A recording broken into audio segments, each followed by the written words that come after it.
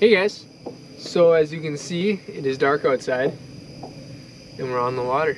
So the gaff I started out with uh, on this adventure was just this wooden gaff with a wood uh, rotted out. So my coworker had a piece of wood laying around, so he let me use it and just cut a piece out, put that in and wrapped it around, made a little handle area.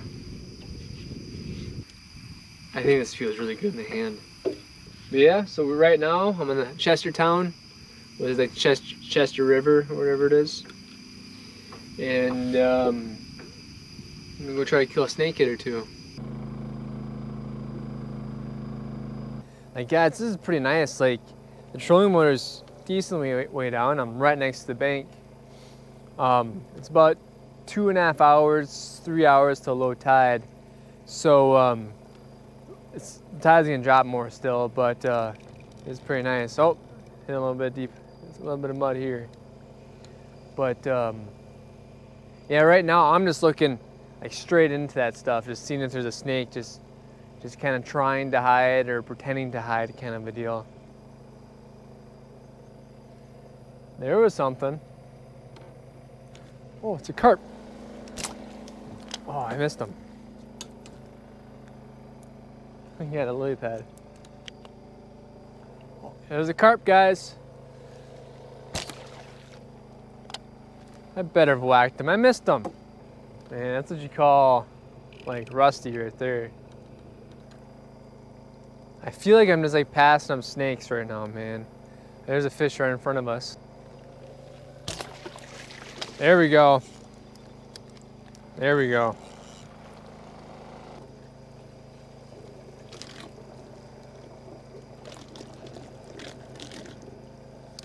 There's a carp. Hey, man. Hey, guys, I think we're gonna turn around here.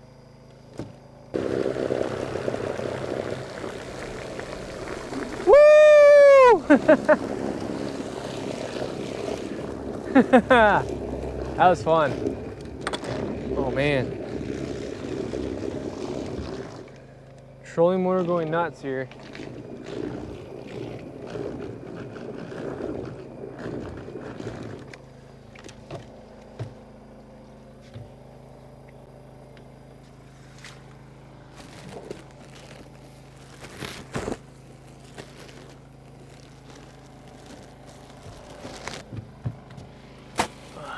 There we go. Here's a woody.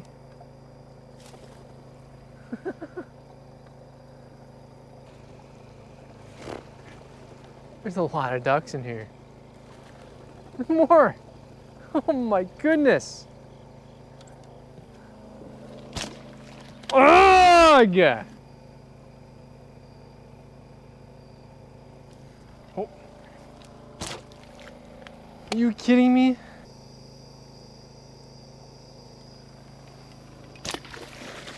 Yeah. Woo!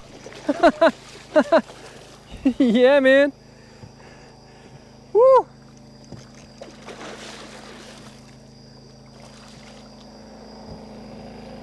Oh man. Oh man. Oh man. Oh man. Oh man. Oh man. Oh man. He's barely on, guys. He's barely on.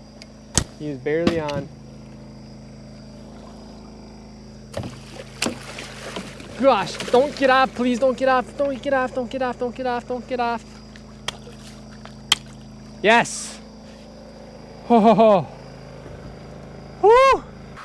Like I don't know, like when you guys go up bow fishing and all, like if you if you don't feel like you're in the killing zone, like right today, I don't really feel like I'm in the killing zone, killing mindset kind of a deal.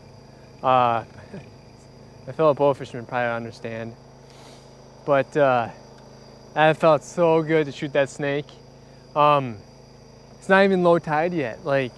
So I'm just, I'm pumped. But um, I saw him in the weeds. I'm like, it looked just, it looked like um, uh, like an eel that you see like in the ocean, kind of like just like sneaking through. I'm like, ah!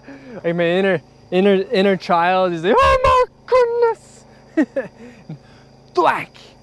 Now after uh, all his carp gave me, like all his carp warmed me up, so.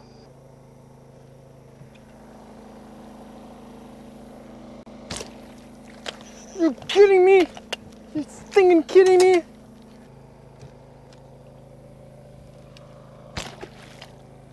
Oh my goodness! Oh my goodness! Holy bunkers! Come on, baby. Come on, big boy. Come on.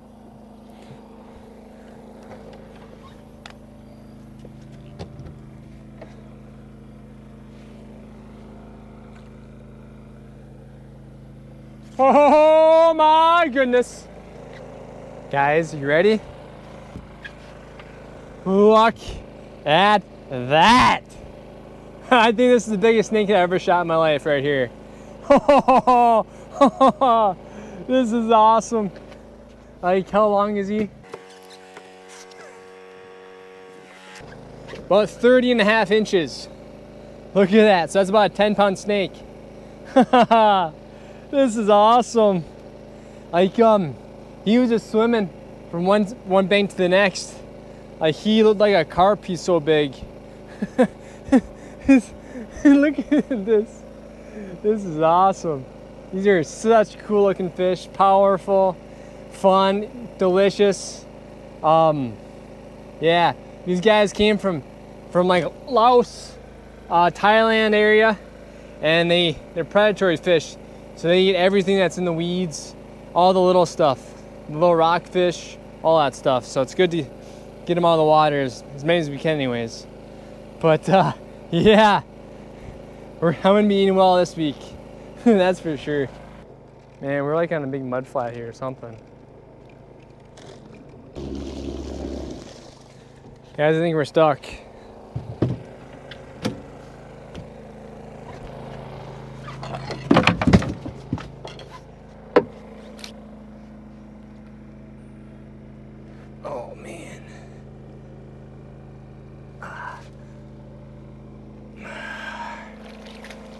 Well guys, tide's going down and I'm stuck. So I'm gonna hop out.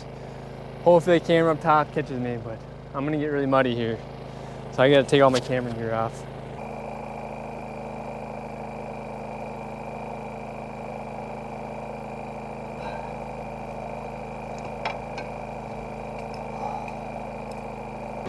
Probably, probably the hardest where I've worked in a long time. I've been needing really bad and not exercising. Been terrible shape. But anyhow, um, I was up to muck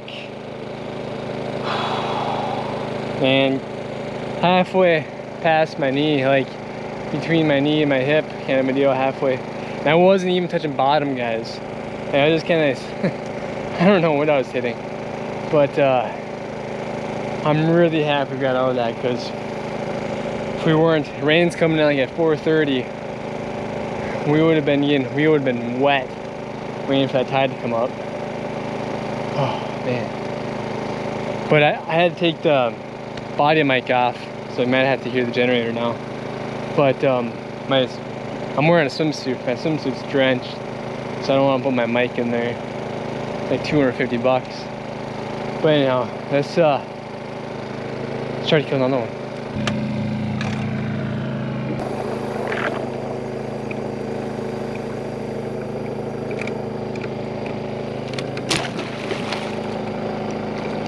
Oh, think that's either a carp or a snakehead. it was a snakehead. Um, right now I'm in really shallow water. Um, so, not exactly sure. I do not want to get stuck again. And we're stuck.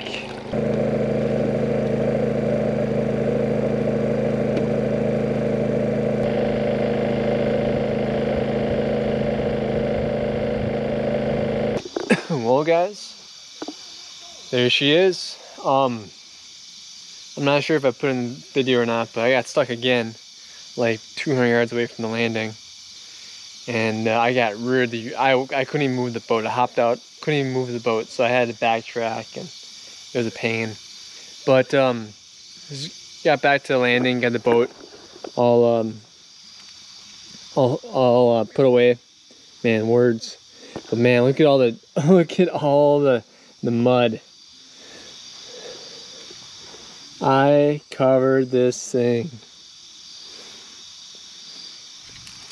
Yeah, let's go look oh, look at what we got.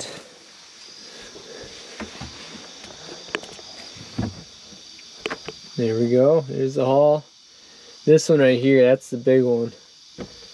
That sucker's huge. Yes, we got five snakeheads and two common carp. See ya. Anyhow, well guys, uh, thanks for watching. Thanks for following along on the, the crazy adventure today. Uh, yeah, it was nuts. Like, got stuck three times tonight. I I've got three stuck three times this whole year, and it was all tonight. but uh, anyhow, it was a good night in the water. Saw some ducks, saw some some cool looking fish, and beat the rain. So, see you guys later. Bye.